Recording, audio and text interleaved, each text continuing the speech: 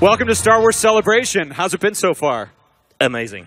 Wow, wow, look at this. This is awesome. Yeah, yeah. And, and for those of you watching at home as well on StarWars.com and all around the world, welcome to this Battlefront panel. Why don't you go ahead and introduce yourselves to all these Star Wars fans and Battlefront fans? Hey, everyone. Uh, my name is Matt Webster. I'm the executive producer of Battlefront 2, and I'm also the GM at Criterion. And this is my first celebration.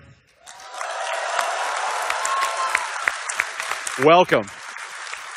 Hi, my name is Bernd. Uh, I am creative director at DICE, and I actually brought something to um, uh, prove my credentials to this crew. Can you put that up, please? What'd you, what'd you bring? This. Oh!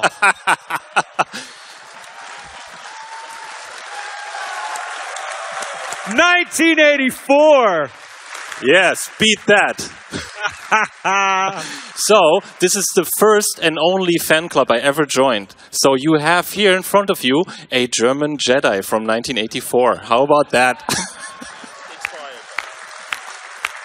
I hear it's very useful to have a German Jedi in game development. That's what I Uh, hear. I hope so. Yes. Go ahead, Paula. I'm Paola Giulio. I'm the game, I'm the content producer at Motive, and uh, my focus is in making sure we'll deliver high quality game campaign. And I brought nothing, and I feel bad about it now. Sorry.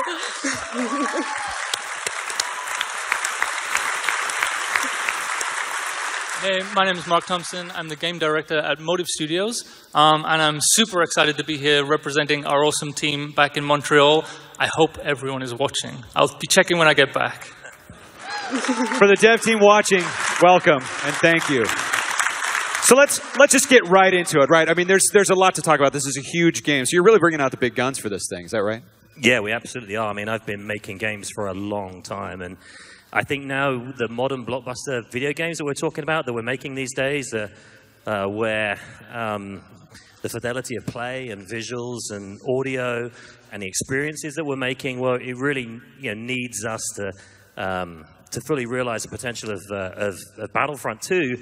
We brought together um, three studios. We've got uh, DICE, the masters for the last decade and a half on multi award-winning multiplayer um, shooter games. We have a, a, new studio in Motive that is filled with uh, veteran um, action game uh, uh, developers and game makers, and my home studio in uh, Criterion in the UK.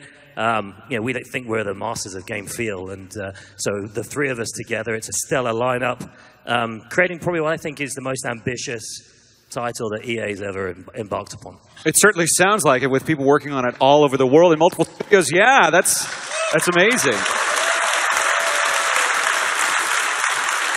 So, Bert, I have a question for you. Now, I know you're fairly new to the team, but what's it like coming in after the first Battlefront? Uh, you know, what's next? What's next for Star Wars Battlefront 2? So, I didn't work on the first game, and the cool thing is that, that I got introduced into the franchise in, in game form as a fan. And what struck me most, what still gives me goosebumps, is that I was on Hoth all of a sudden.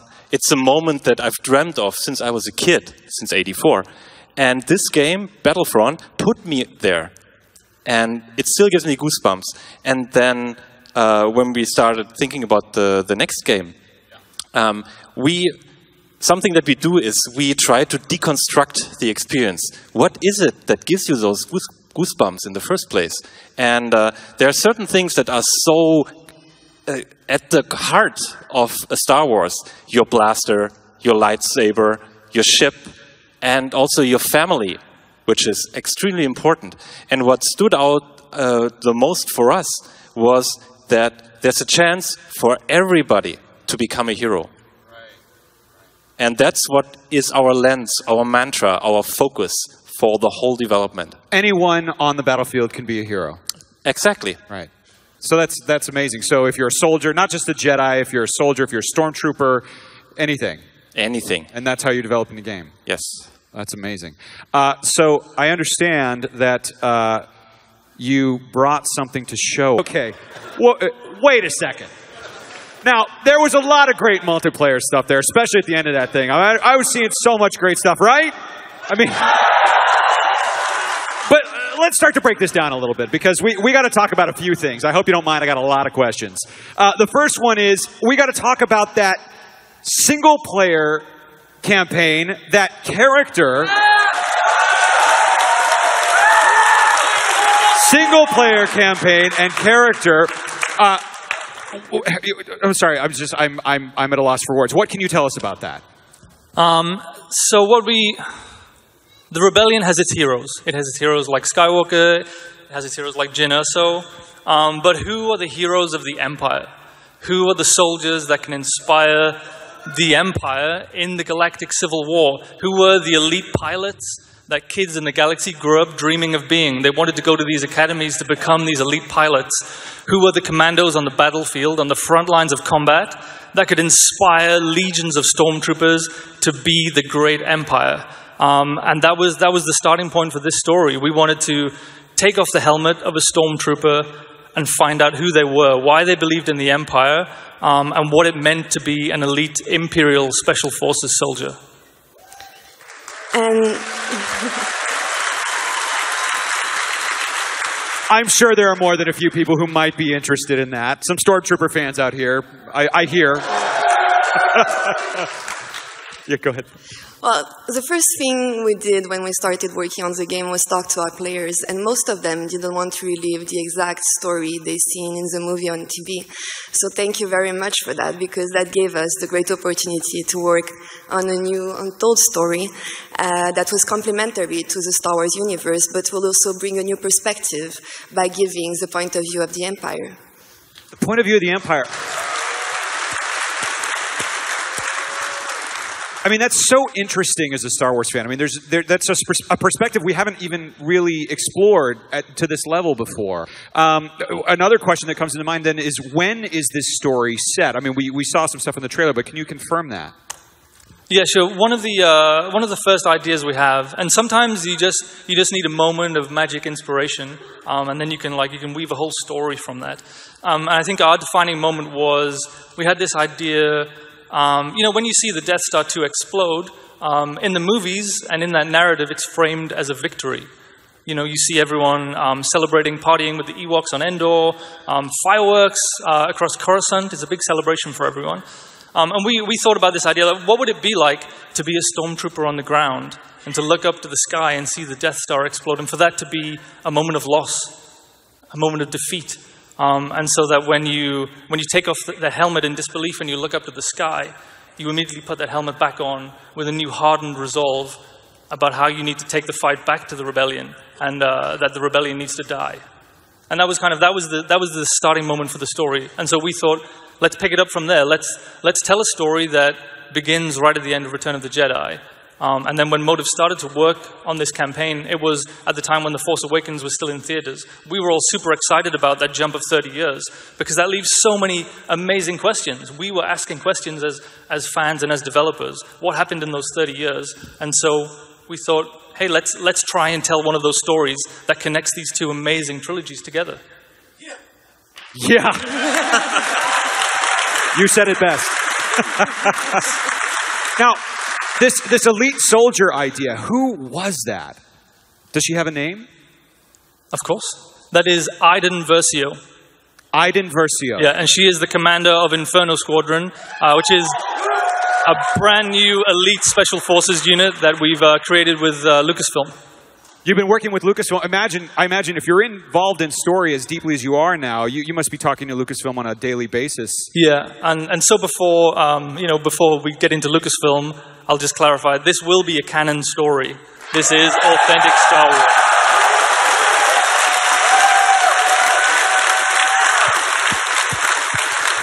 I, I say that because the, Steve doesn't like the word canon, so I said it before he's here. So, uh, well, you just mentioned Steve. I think now is a perfect time to bring out uh, uh, someone from Lucasfilm Story Group, Steve Blank. Steve, you back there? Come on out, say hello. Steve Blank from Lucasfilm Story Group. Come on out. Hi. You got it in stage. You said that word that I don't know. That's fine. That's okay. Uh, so uh, let's let's start from the beginning. How did all, how did this whole process start on this with Story Group? Yeah, sure. So, I mean, as, as Mark mentioned, right, this was something that's been in the works for a while, right? They saw Force Awakens in theaters, and then they came to us at Lucasfilm and they sat down both with, with Story Group, including Pablo and Leland and Matt Martin and myself, with our games production team internally at Lucasfilm, with people like Matt Philbrand and Orion and Jeff and Marco. And they sort of came to the table, being Mark and Motive, and said, hey, we're really interested in this this time span, right, between Return of the Jedi and um, Force Awakens, and we'd really like to tell a story from an Imperial point of view, specifically in that span. And what they had done, they had done a lot of great homework before they even came to us and said, okay, we've been reading a lot of the new materials that you put out there. We've been reading Aftermath, we've read Shattered Empire, we've read Lost Stars, and so we understand, right, those details that you're you're starting to lay the groundwork for, and we really want to use those to help us tell a story. And we were on board from day one with how awesome that sounded to kind of have that opportunity to to tell a little bit more of what happens in that space, and specifically to do it from a really new perspective and a different point of view. And and just to give props specifically to our writer Mitch Dyer, he was the one Mitch! who had done a lot of that reading and a lot of and a lot of that work. So this is our, our writer.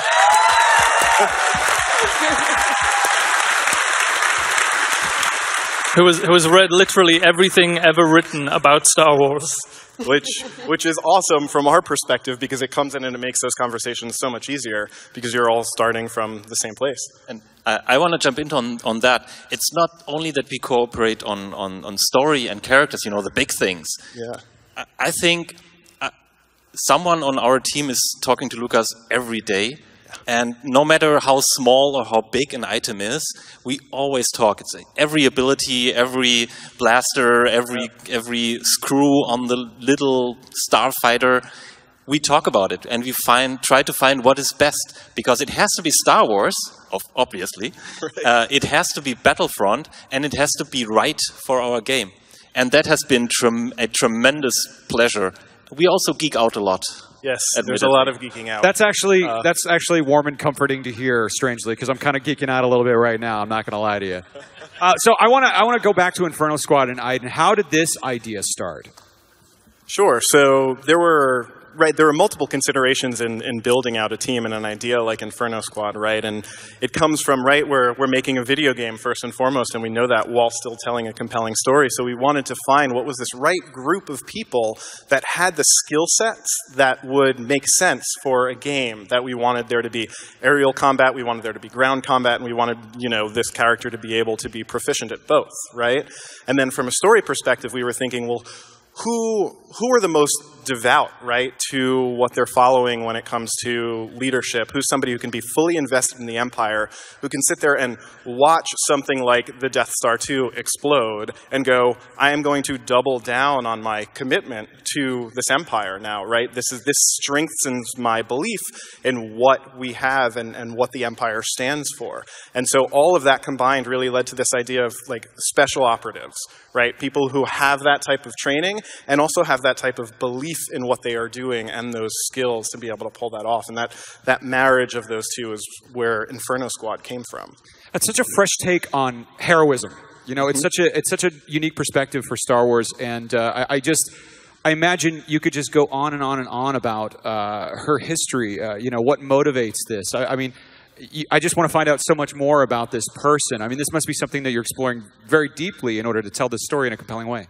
Sure, yeah. I mean, sort of the backstory of, of Iden, and just to pause at Iden for a second, we do have uh, our actress who plays Iden Versio here today. Janina Gavankar is here Oh, in our front up, row, if she can stand up. So There she is. right? And she's just to, to give her a moment of awesomeness, right? There's there's a lot that we've put into this character, right? And there's there's only so much that you can put on a page, and there's only so much that you can talk about about how you want this this character to be a hero and to to really stand for somebody who is heroic in the eyes of the Empire. Um, and Janina really was able was able to embody that, right, and did a fantastic job to what we had imagined Iden always being. And so we're really excited for people to kind of see more of her and see this story play out. And we have been spending quite a bit of time uh, also thinking about what, what her backstory would be, right, and, and who Iden is and also who Inferno Squad is. Um, and keen fans might recognize that name from something already. Inferno Squad. That's the one. Does it ring a bell? Certain announcements. Well, we have another. I see there's a little empty space next to you, Steve. There is. Couch there. Uh, we have another guest. Shall we bring her out?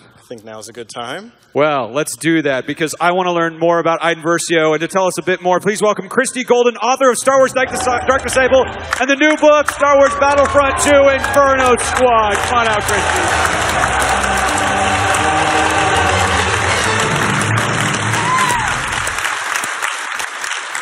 Amazing. Welcome. Welcome to Star Wars Celebration again. Um, Thank you. so thank you. I, I want to ask you about the book. What can you tell us, and uh, and what did you think about it the first time you were approached about Inferno Squad? Well, first of all, it was a really solid script, so that gave me a good jumping off point to get an idea of, of who these characters are. Um, we took the story back four years, and um, when you pick up this book, you'll get a chance to see how they all met and what they thought of each other and what their first mission was and how they learned to become this, this well oiled machine. And of course, as all good stories are, it takes a little bit of doing to get there.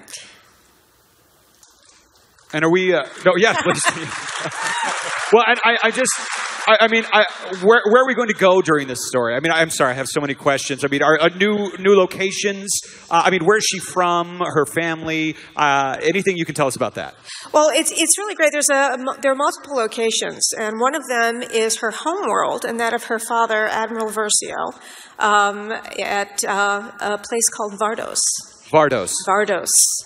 And um, I was given uh, some of the art to look at to be able to set the scenes there appropriately. And it's, as you can see, it's quite gorgeous and very striking. Um, and one of the things that the team sent over, and I, I love this, I love being so involved at this level, um, was these trees that you see here.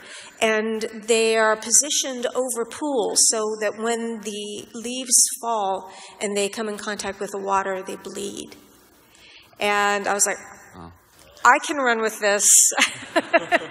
Just such beautiful little bit of, of details that as a writer I get to give some history to and backstory of. It was great. Well, and this is such. This looks like such a, a new environment. There's so many. It's so different from uh, what I remember in Battlefront. Is there anything else you can tell us about this environment that's unique for for Battlefront? Uh, because I mean, I see Imperial flags everywhere, right? Uh, this is obviously under Imperial occupation. Yes.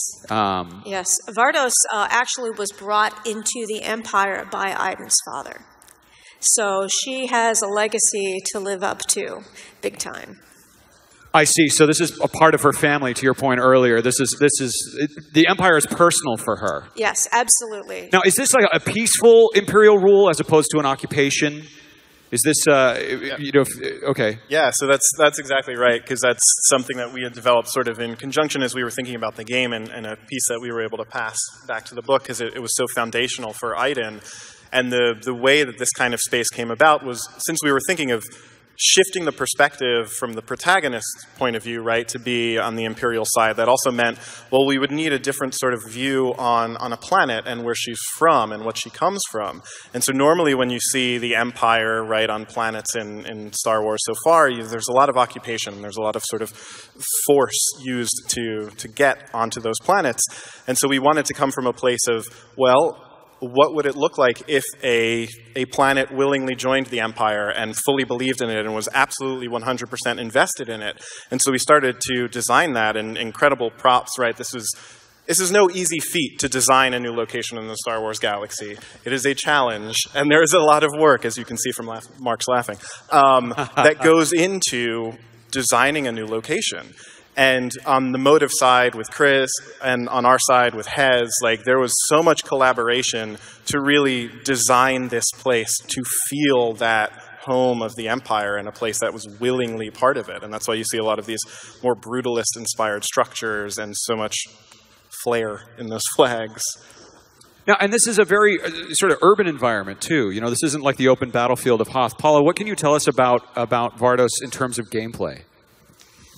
Well, Vardos will provide completely new design and gameplay opportunities because you'll be playing inside the city, so that's completely changed the gameplay from the, you know, open sandbox style that you have in the multiplayer. Um, and that's going to be only one of the new locations that Iden is going to visit.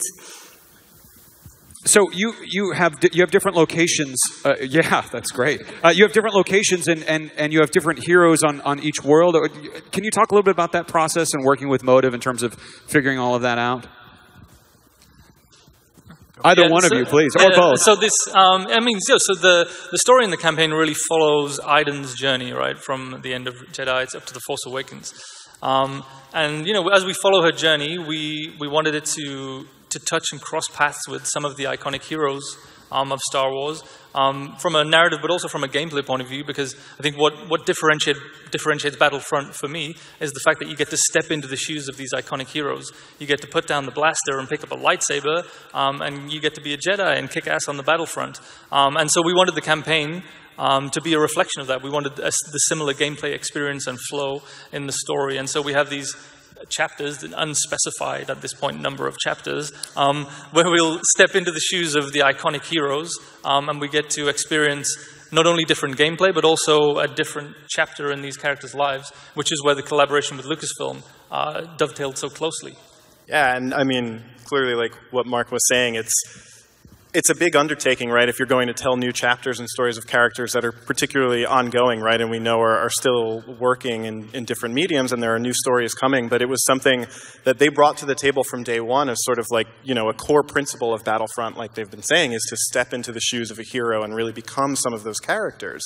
And so we knew from from the start that that was something we wanted to bring also to the single player campaign. And so we were finding ways to bring meaningful characters and known characters into that campaign in really sort of respectful and organic ways to the main story of, of Iden and Inferno Squad. Um, and also respectful of the legacies of those famous characters that are coming. And so, what I can say, I can't specify how many, Okay. but what I can say is in the single player mode, in story mode, you will get to play as Luke Skywalker and Kylo Ren. Um, not bad. Thank you.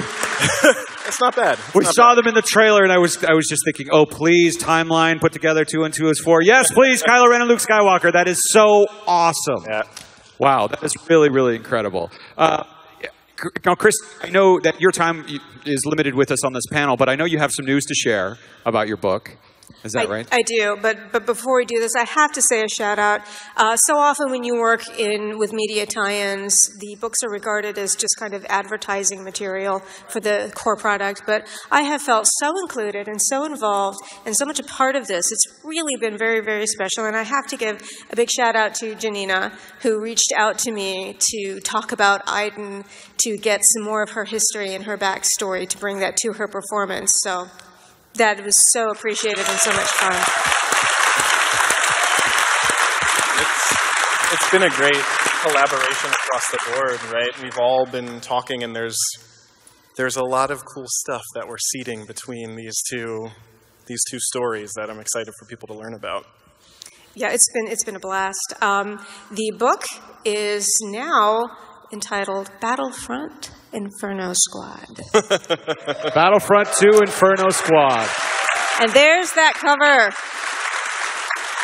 That is a gorgeous cover. Yeah. Round of applause. That's amazing. And it will be out on July 25th. July 25th. Excellent. Well, any any final thoughts? I know I know you have to go, but but, but thank you so much. Any closing thoughts? Uh, I'm as excited as anybody. I just saw the trailer myself yesterday, and I am completely blown away. This looks like it's going to be so much fun, and it's it's such an honor to be connected with something like this. And I, my hope is that if, when you read the book and then you come to the game, it's going to give you a, a much deeper and richer experience because you will have seen where they came from and now are seeing where they're going. So.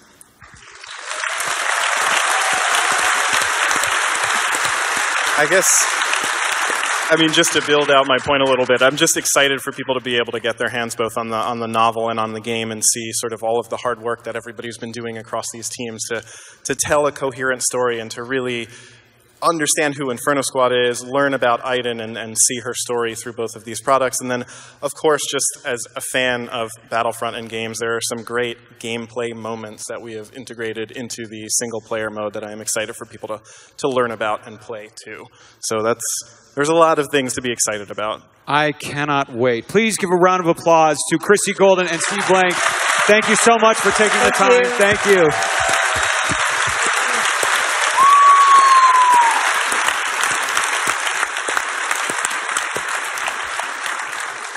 I feel, I feel like we just covered so much. But you know, we haven't even talked about multiplayer yet. I want, I mean, after playing so much of Battlefront, I have so many questions about multiplayer and, and game mechanics. Look at that. It's beautiful. So, uh, Bernd, multiplayer was the centerpiece of the original Battle, Battlefront. What do Yes, you it was. Huh? Yes, it was. Yes, it was. Uh, are you? What are you changing? Anything? What's Uh? What's well, up? Well, a couple of little things that we brought to make it better. Like one thing is that that we thought together with Lucas is what better opportunity than this year, the 40th anniversary, uh, is there to bring more uh, eras into the game? So we decided to have prequel, original trilogy, and the new movies represented in the game. All eras of Star Wars playable in Battlefront 2. All.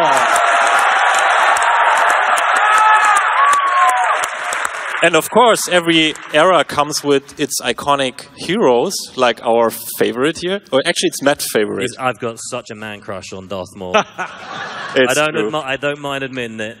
yeah. Don't so, um, uh, what we did is we added a lot of things. Um, I think, no, I'm sure that this is for certain the biggest game that I ever worked on. There's so many things in there. There's more, more weapons, more vehicles, more heroes, more, more everything, basically. Uh, and I can't wait until our players get their hands on it. But one thing that we also wanted to do is, if we, you, you know, this this um, uh, mantra that we have, the hero's journey, that was really important to us. That it's represented in every aspect of the game. So when we looked at our troopers, uh, we wanted to give them an opportunity to grow, to develop, so that a squad of really good players maybe has a chance to stand up against Darth Maul. So we introduced classes. Uh, you can unlock new abilities. Yes.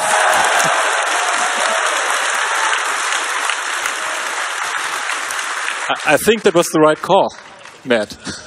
So this this is a this is a pretty this is a pretty uh, pretty this is a huge change and and and like yeah it's incredible. So you have different classes and you're basically upgrading. Let's get into the nitty gritty of this. You're upgrading how your character works in match, but also can you know through multiple matches. Yes.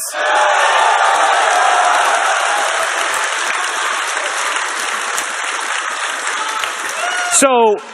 So infantry, sniper, heavy gunner, officer, those kind of things. That's what you mean by character class. Exactly. Yes. Yeah. They will be very familiar to our players. They're iconic to the Star Wars universe. So because it, it kind of because we had maps, we have maps from all the errors. We kind of had to do troopers from all errors too. Maybe we didn't really think that through in the beginning. That's a lot of assets that you're creating. Yeah. Yeah, it's a lot. Is that what you mean by huge? Would you say this? Yeah, it, it is. I mean, I, I think this is a great image as well. Um, yeah, and it's yeah, this is representative of of, uh, of in game, and it's uh, it's great to have that breadth across not just you know the classes that we have, but uh, across all of the eras too. But the, and the other thing that we looked at is not only wanted we to expand this game in scope, so make it broader, we also wanted to give it more depth. That there's more reason, even more reason to stick around longer, to play more, to make your trooper the best trooper on the battlefield, or to improve your hero, to become a better hero. Right, so it's not just like a, a bonus pickup. You actually can say that again. You can improve your hero to be a better hero. Yes, you can. You can upgrade your heroes. That's gorgeous. So, how does this work in terms of the different worlds that you're going to be in and the heroes? How, how does that work in Battlefront 2? Uh, what can you tell us about it? What's different this time around? Well, I think just, just talking about the heroes, I mean, these, these iconic, I mean, we've talked about troopers and a, a hero journey inside troopers, and I think that's something that's, you know, deep, deeply rooted inside, um, the Star Wars universe where you have a journey um, from you know a farm boy to you know this super iconic uh, heroic character. And this time, the, the heroes, they're such a, in, in terms of the game, they're such a game changer. So when they, when they enter the battlefront, it's a moment. It's a real moment. I think it's a massive differentiator for Battlefront 2. Um, this time we've got uh, heroes that are way more physical uh, than we've than we've had before. So, I don't just mean in terms of their uh, abilities, but you know how they feel and, and how we expect people to play with them, and how we expect um, uh, people to then uh, choose to progress with uh, the particular heroes that we have, and, and, and customize them to suit how they how they like to play. That's an incredible amount of depth that you're that you're adding there. That's great. I mean, yeah, yeah, exactly right. I mean, this is this is breadth and depth. So depth in the in the combat and, in, and inside the systems. You know, it's just a, an incredible multiplayer team at Dice that are, that are bringing this together. You know, a decade and a half of you know super experience and really bringing that together in uh, uh, inside Star Wars. It's, it's it's a great combination. Uh, I think one one thing that is at, at the heart of of Dice is this freedom of choice that you have. We give you a lot of tools, and uh, but how you face a challenge as a team going up against a hero or in a starfighter or uh, as a hero is really up to you how you face that challenge. In, uh, we call it rock, paper, scissors. So there's always a way for you to express yourself in gameplay. And I think that this is truly unique to the type of game that we are making. That you are able, together with your friends, to create these awesome moments of taking down the AT-AT at the last second and then everything blows up and all of a sudden Darth Vader appears. You know, these moments that just live once. They're truly yours.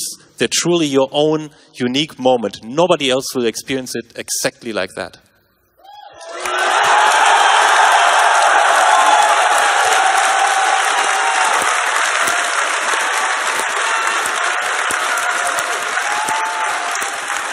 No, Camino.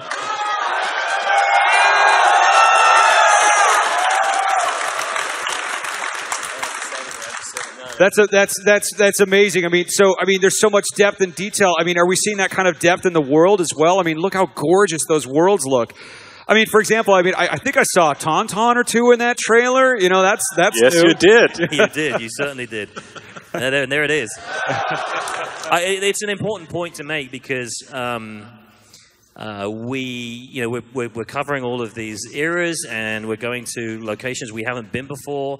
Um, and it's not just the surface and the structures that we're really concentrating on this time around. It's trying to make these locations feel alive, and so that's why bringing the Tauntauns into the game and the other things that we're doing inside these particularly recognizable moments that make these locations feel alive. It's just such a rich universe for us to draw upon, and uh, players are going to see a lot of that uh, in this game too.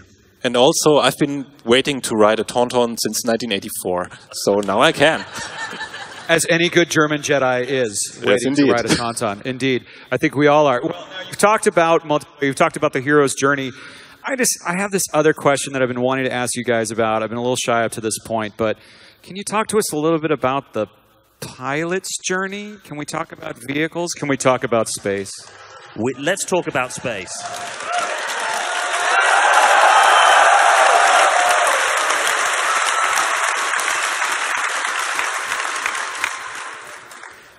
The space space battles, there's this fantasy of being inside a space battle. It's such a star. It's such a thing for Star Wars. I mean, in my in my head, when I think about um, you know, when we're talking about the uh, the Return of the Jedi, these these moments of epic capital ships and and starfighters battling it out, that that is going to be a significant part of this game for multiplayer. Yes.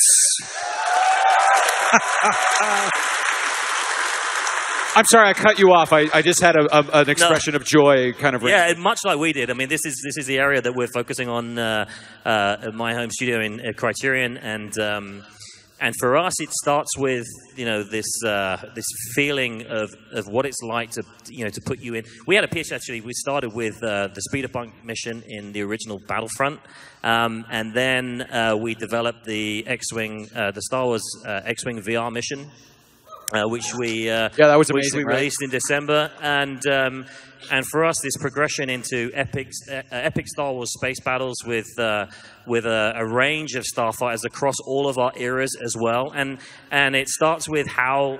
Uh, these ships feel, and you know, and, and in your mind, it's delivering on that fantasy of being in combat.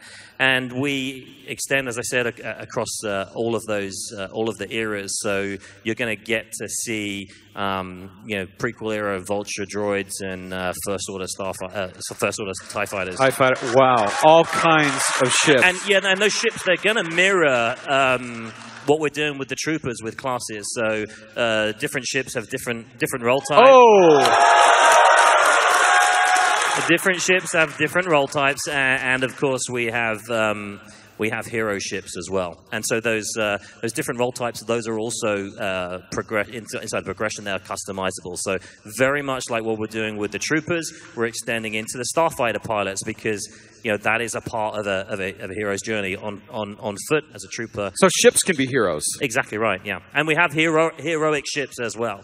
You can upgrade ships. You can upgrade troopers. Now, I, I'm assuming if you're on Hoth, you're going to see snow troopers. If you are, uh, you know, on Kamino, you're going to see clone troopers. That kind of thing. Is that's kind of how it works? That is correct. Okay, that's amazing. There's just so much to look at here. I, I really, um, I really want to play this thing.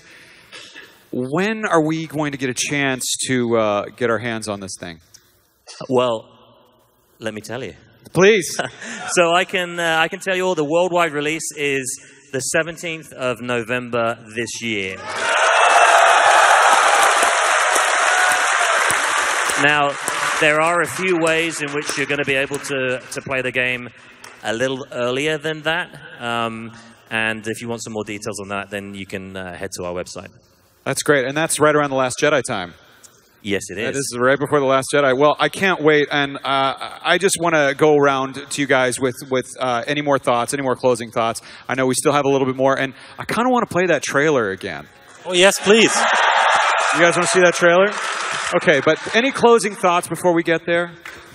Um, yeah, for me, as I said at the top, this is my first celebration, and um, it's just amazing to be able to share these details on behalf of our, our teams that we have. Uh, at Dice, the amazing team at Dice that are working on multiplayer, multiplayer, and the other teams that we have at Criterion in uh, in the UK and at Motive. It's just such a privilege to be able to share that with an audience that is so. You just feel the energy in this room. It's just a real privilege. So thank you. Thank you. Well, I, I want to say um, a big shout out to the home teams, you know, in Montreal, in Stockholm, and in Guildford, right? Because we're sitting here, but they are really doing the work. So without you guys out there, I wouldn't be here. I would have nothing to show. And a round of applause, please.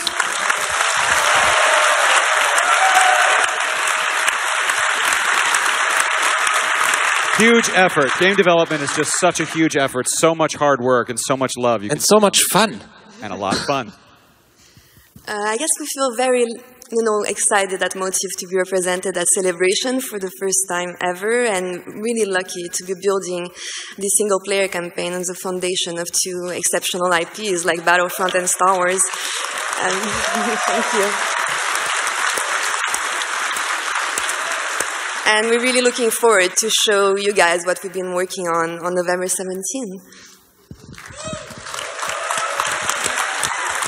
And yeah, I'm, uh, I'm, I'm super excited about uh, in the campaign getting to take everyone on the journey of putting on Inferno Squadron's armor and truly believing in the Empire. That's so awesome. Now, we're we're not done yet. There's still a couple things, right? Now, we talked about the Last Jedi. What can you tell us about the Last Jedi? Any anything? Any content? Well, what can we talk um, about here? So we're a little bit ahead of the uh, of the film in terms of our release. Uh, what I can say is that we have a, a terrific pre-order uh, offer. Um, This, this is good. Uh, around the Last Jedi Heroes, and where players are going to get access to um, uh, Last Jedi costumes for uh, for Rey and for Kylo, um, and also uh, access to um, uh, A Last Jedi, uh, Millennium Falcon, and an as yet, Yeah. uh, as yet detailed First Order Starfighter. First Order Starfighter. That is awesome. Now, we have a couple other things. Uh, before we play the trailer, my understanding is wait, remind me again, how many of you were here in 2015 or actually in Anaheim? There's something we did then that we haven't done yet now. Not t shirts, something better if I remember.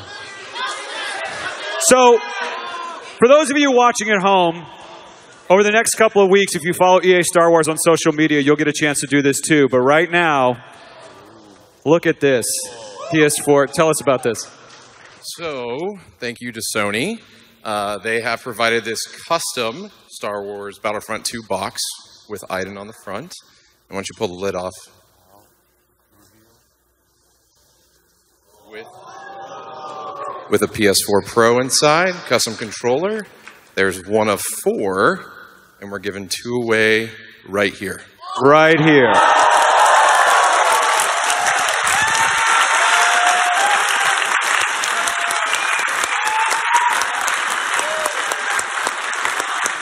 So, now, there are, and this is, I want to be very, uh, very tactful about how I say this here. I, if you gently inspect underneath your seat, there are very clearly marked little tags that say winner very clearly. Not this chair was made in the chair factory. Not this is a piece of chewing gum. Hey, come on up. Here's one right here. Come on up. Come on up. No, here. Come on up here. Come on up here. Come on up here. All the way around. All the way around. You okay? you all right? So, what's your name? Marley, Arlie, welcome. Where are you from? New York. New York. Thank you for coming. Congratulations. You are a winner of a PlayStation 4 Pro Star Wars Battlefront.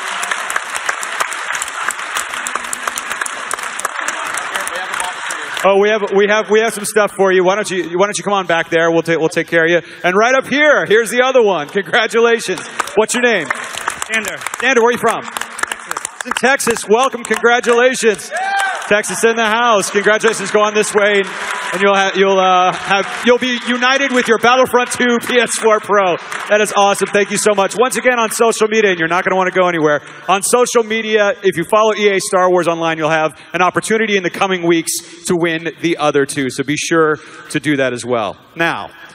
Uh, I, I want to say uh, uh, to those of you that are watching in here, you're going to want to stick around, but I want to tell everyone watching at home and on the Star Wars show, uh, on the live stream, thank you so much for joining us.